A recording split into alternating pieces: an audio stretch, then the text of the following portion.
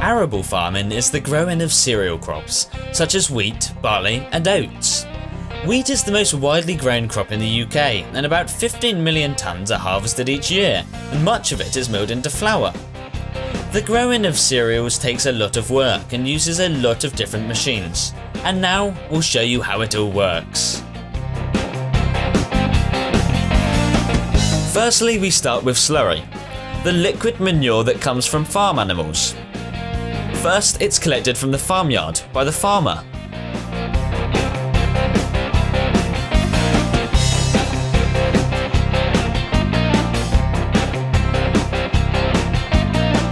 It then gets spread on the land to provide nutrients to the crops. The equipment pulled by the tractor to spread slurry is very big.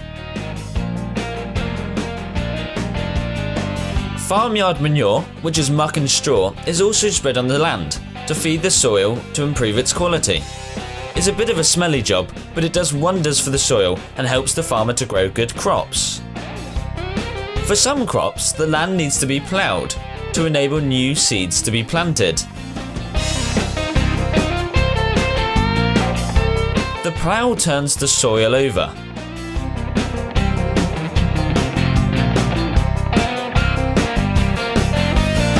Reversible ploughs allow the farmer to plough a field first from one end and then from the other, saving a lot of time.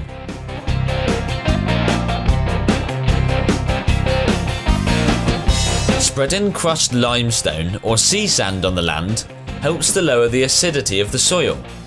The acidity of the soil can be tested to see if it needs lime or sand to be added. If it does, the lime and sand helps to improve the quality of the soil and makes it easier to grow healthy plants and crops. If it does, the lime and sand helps to improve the quality of the soil and makes it easier to grow healthy plants and crops. Fertiliser is also spread on the fields to help crops grow.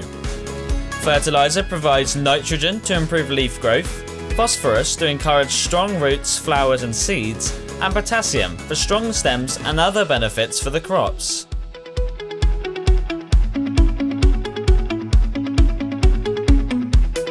The seeds for the crop are then drilled into the ground, and at the same time, the seedbed is prepared to give the seeds a good start to their growing life.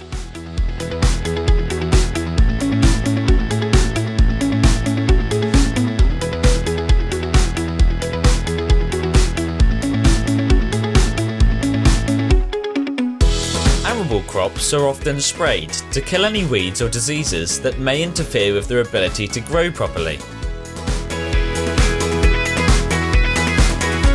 This helps to protect the crops from contracting any diseases or being overrun by unwanted weeds.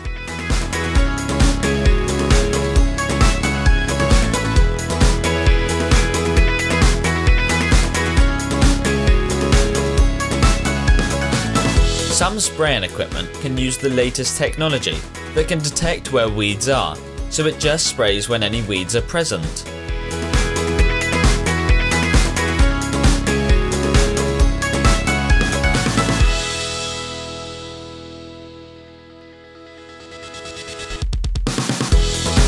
Another important farm crop is grass silage. This is cut with mowers pulled by tractors, and they're like huge lawn mowers. Some tractors can operate two mowers at the same time and can cut grass at great speed.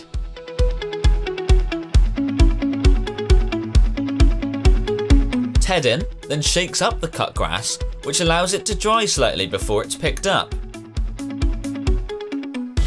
Next, a huge rake pulled by a tractor is used to pull all of the cut grass into smaller rows.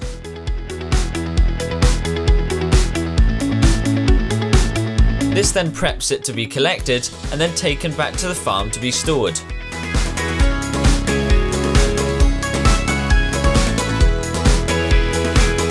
Next, the forage harvester gathers up the grass and blows it into trailers that are pulled by tractors.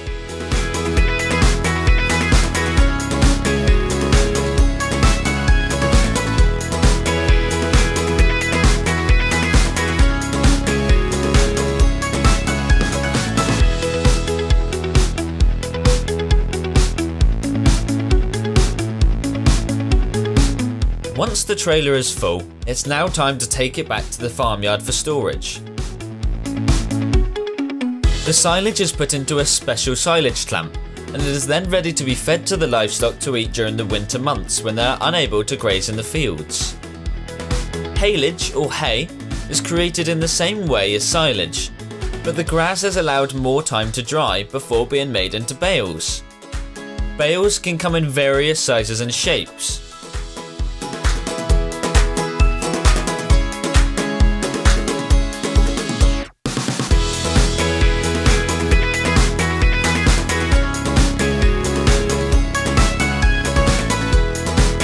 Sometimes they are wrapped in plastic to help keep them fresh.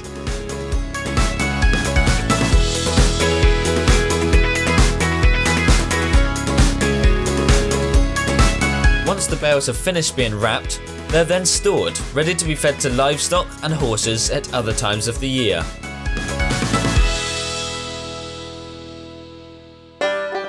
Barley is one of the main arable crops grown across the world, and is ranked fourth for production after maize, rice, and wheat. Barley is used in animal and human foods, and it is also used to make beer. Once ripe, the crop is harvested using huge combine harvesters, which remove the barley seeds from the stems and leave the straw lying in the field. The grain from the crop is then emptied into a big trailer, which then gets transported to the farm.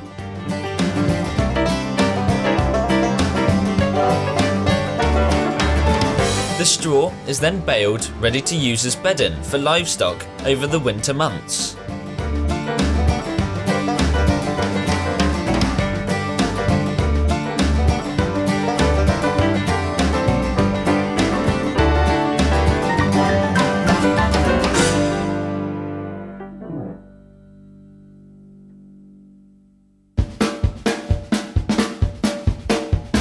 Oats are another widely grown arable crop Oats are ground up for oatmeal or flattened for rolled oats. Rolled oats are what you eat in your porridge for breakfast. Oats are also used to feed animals. The oats are emptied from the combine into a trailer and taken back to the farmyard.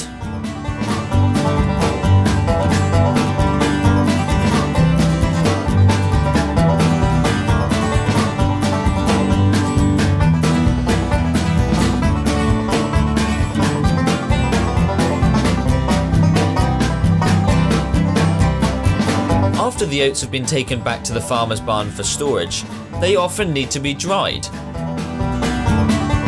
This is to reduce their water content so that they keep better. The grain is then tested for its water or moisture content to make sure it's okay to store away.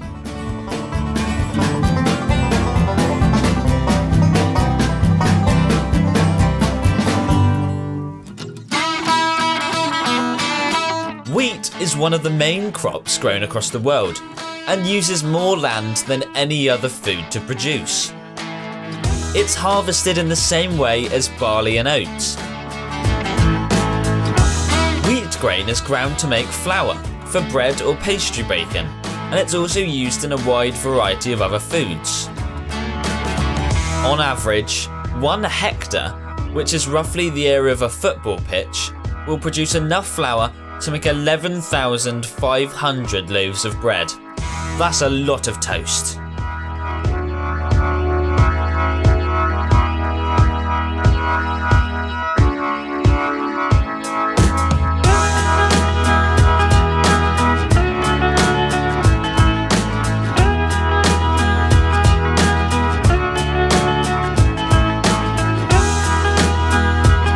Grain is ground to make flour, this is called milling, and the flour can then be used to make bread and other foods.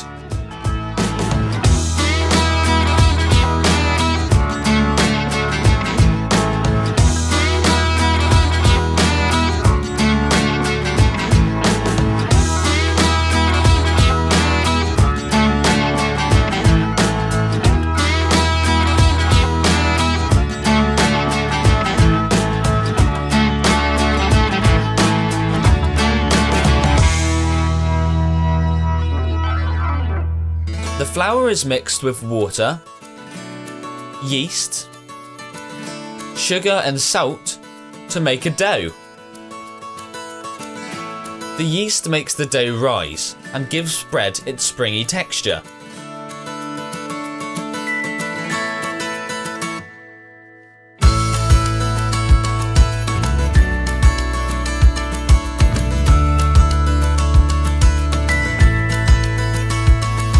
Next job is to cut the dough into small parts. The dough is then kneaded and left to rise before the loaves are baked.